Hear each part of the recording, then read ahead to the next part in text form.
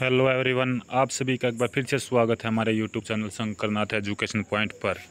दोस्तों, एक बार फिर से आप सभी के लिए लेकर आया हूँ करंट अफेयर की क्लास, जो आपके एग्ज़ाम चल रहे हैं आरआरबी ग्रुप डी आने वाला exam Delhi police driver, head constable ministerial, जो दिल्ली पुलिस, और भी C H S L C G L जितने भी एग्ज़ाम हैं दोस्तों, उन सभी के लिए मोस्ट इंपॉर्टेंट क्वेश्चन हम इस वीडियो में करेंगे। यदि दोस्तों चैनल पर पहली बार आए हैं तो चैनल को सब्सक्राइब कर लीजिएगा बेल आइकन दबाइएगा व्हाट्सअप ग्रुप और टेलीग्राम चैनल से दोस्तों जुड़ना ना भूलें, क्योंकि वहाँ पर सबसे पहले दोस्तों किसी भी भर्ती से रिलेटेड कोई भी लिंक पीडीएफ फ़ाइल इन्फॉर्मेशन सबसे पहले शेयर की जाती है। चलिए शुरू करते हैं भाई।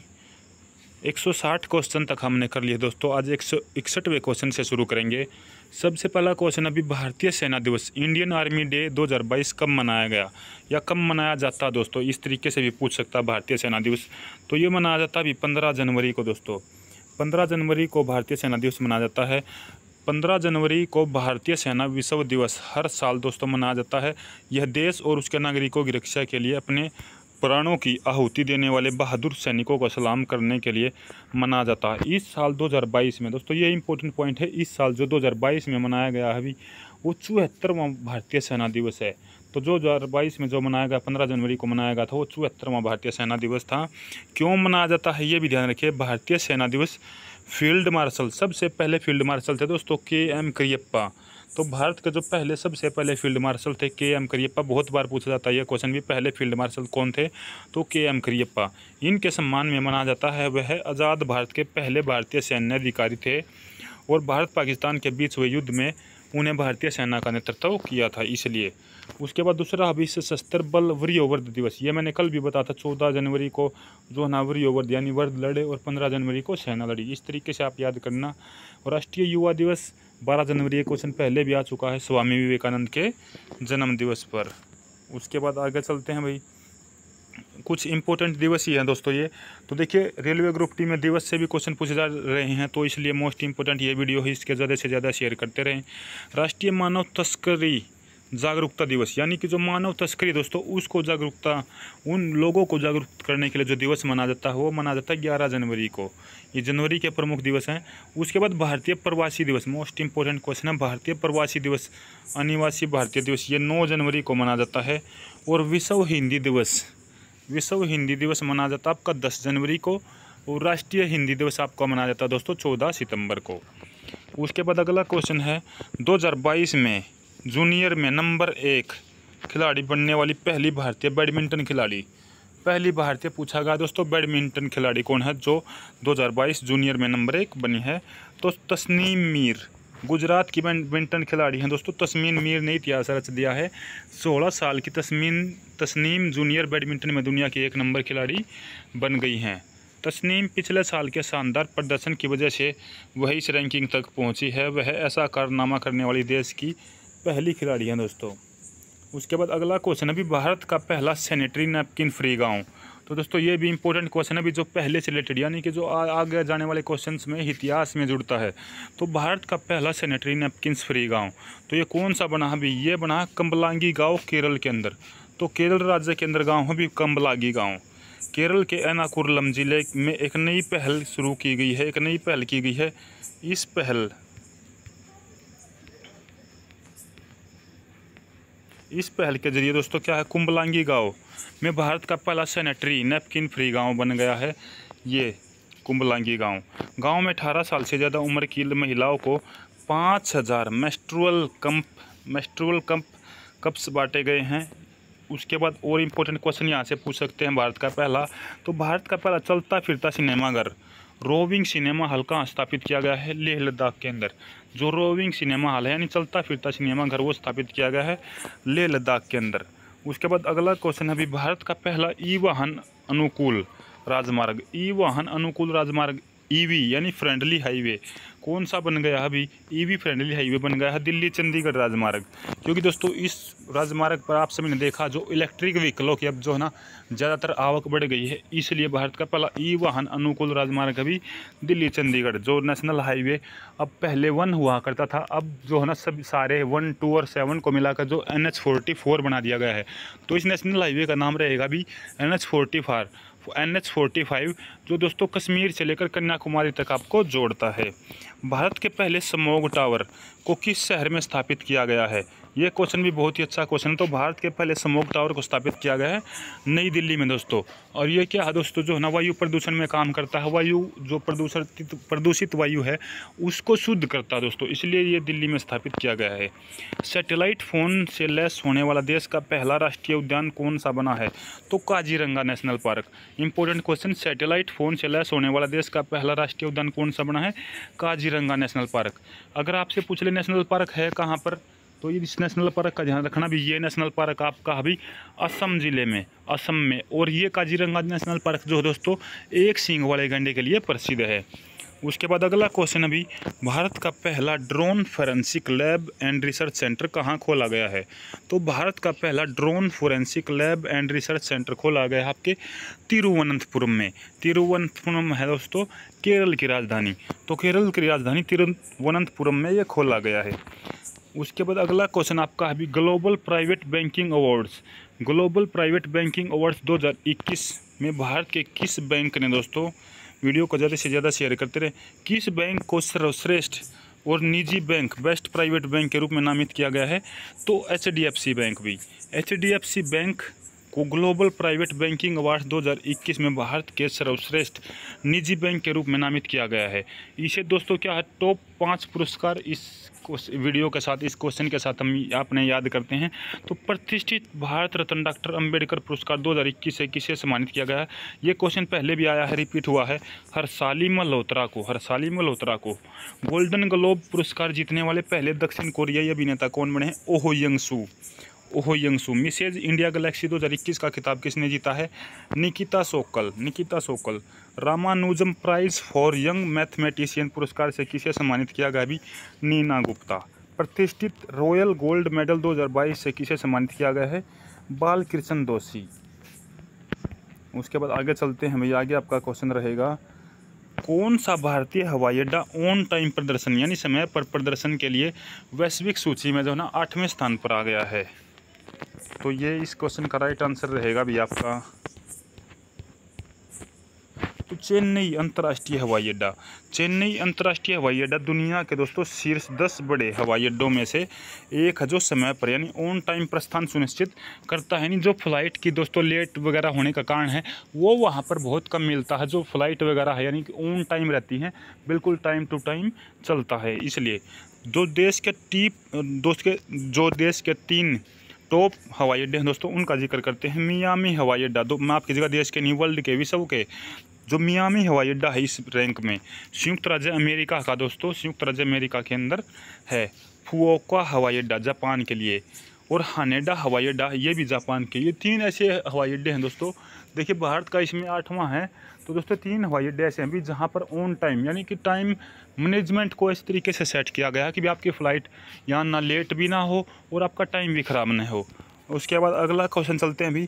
कौन सा राज्य पहली बार विश्व बहादिर टी ट्वेंटी क्रिकेट चैंपियनशिप 2023 की मेज़बानी करेगा?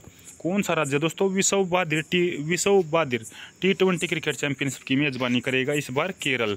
बहादिरों की अखिल भारतीय खेल परिषद को 10 से 20 जनवरी 2023 तक केरल के तिरुवनंतपुरम में पहली विश्व बहादिर टी ट्वेंटी क्रिकेट चैंपियनशिप की मेज़बानी करने के लिए बहादिरों के लिए अंतर्राष्ट्रीय खेल समिति आईसीएसडी ने मंजूरी मिल गई है। चैंपियनशिप में कम से कम आठ देशों के भाग लेने की उम्मीद है और इस तरह का, इस तरह का अंतर्राष्ट्रीय कार्यक्रम भारत में आयोजित किया जा रहा है। टॉप जो पाँच आगामी खेल हैं, उनके बारे में हम ज़िक्र करते हैं। भाई, एक सेकंड उनके बारे में हम ज़िक्र करेंगे। तो खेलो इंडिया यूथ गेम 2022 सबसे पहले पूछ ले कहाँ पर हुए तो हरियाणा में ध्यान रखना। और हरियाणा में ही इसमें टॉप था। उसके बाद एएफसी फुटबॉल महिला एशिया कप दो हज़ार बाईस। ये हुआ था मुंबई और पुणे में। महाराष्ट्र के मुंबई और पुणे में दोस्तों, भारत में हुआ था। आईसीसी पुरुष टी ट्वेंटी विश्व कप 2021 हुआ था। भी यूएई और ओमान में। आईसीसी पुरुष टी ट्वेंटी विश्व कप 2021 यूएई और ओमान में। आईसीसी वर्ल्ड टेस्ट चैंपियनशिप 2021 होगी भाई 2021 हुई थी इंग्लैंड में। हॉकी हॉकी का जो विश्व कप है 2024 में, वो होगा भी मस्कट। मस्कट ओमान की राजधानी मस्कट में होगा, जो हॉकी विश्व कप आपका 2024 के अंदर। उसके बाद आगे चलते हैं। Globo global economic prospects report. Global economic prospects report 2022 को किसने जारी किया है? तो इसको जारी किया है वर्ल्ड बैंक ने। वर्ल्ड बैंक ने, जो विश्व बैंक ने ग्लोबल इकोनॉमिक प्रोस्पेक्टस रिपोर्ट 2022 को जारी किया है, इस रिपोर्ट के अनुसार दोस्तों विश्विक आर्थिक विकास 2022 में तेज़ी से घटकर 4.1 प्रतिशत और 2023 में 3.2 प्रतिशत हो जाएगा, जो कि 2021 में 5.5 प्रतिशत था। उसके बाद देखिए, जारी करता है। इस रैंकिंग को जारी कौन करता है अभी? विश्व बैंक। विश्व बैंक की स्थापना हुई थी भी स्थापना जुलाई 1944 में। दोस्तों, यहाँ पर देखिए, जुलाई 1944 दिया गया है। लेकिन अगर बात करते हैं, विश्व बैंक की स्थापना आपकी अगर क्वेश्चन पेपर में बहुत बार आपको उन्नीस सौ चौवालीस आंसर में नहीं मिलता है। उन्नीस सौ चौवालीस में दोस्तों क्या है? एक ऐसा सम्मेलन हुआ था, ठीक है, उसके तहत जो इसकी स्थापना की गई थी उन्नीस सौ पैंतालीस में।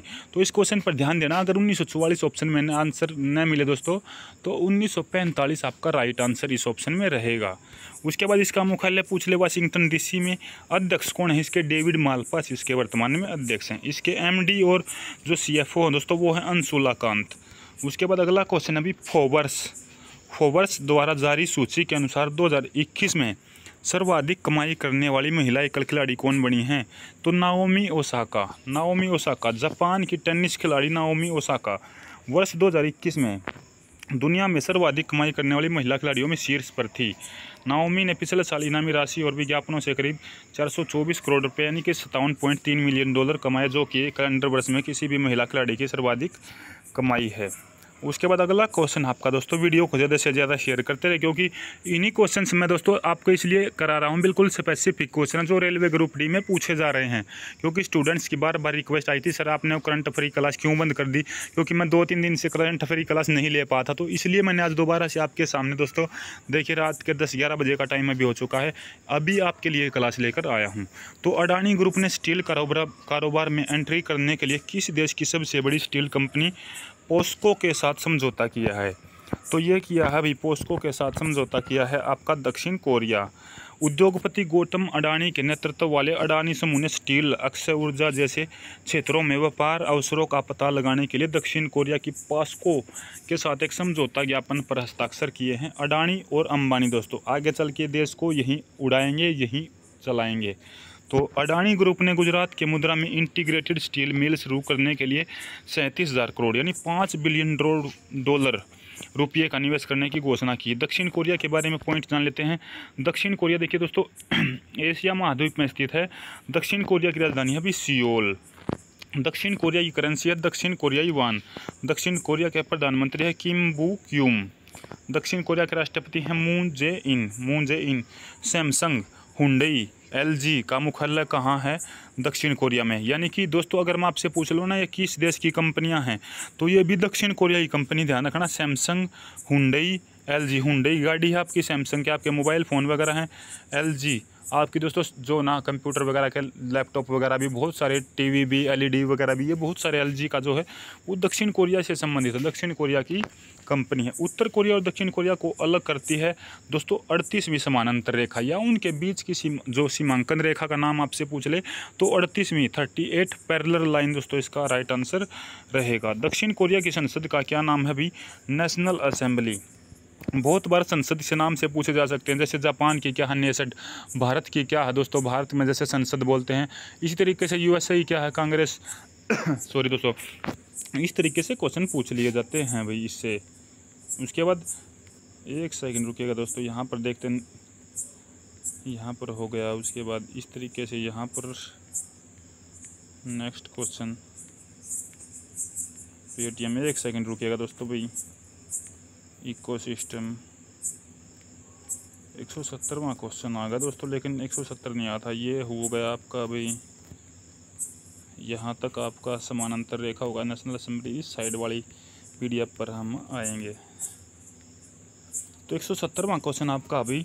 प्रधानमंत्री नरेंद्र मोदी ने किस दिन को राष्ट्रीय स्टार्टअप दिवस नेशनल स्टार्टअप डे के रूप में मनाने की घोषणा की। है आखिरी क्वेश्चन दोस्तों, इस वीडियो का आज हम दस ही क्वेश्चन करेंगे, क्योंकि जो डिस्क्रिप्शन है, यानी कि दोस्तों, जो एक्सप्लेनेशन है, वो कुछ अच्छी है, कुछ अच्छे क्वेश्चन हैं। आप इस वीडियो को एक दो बार ज़रूर देखिएगा।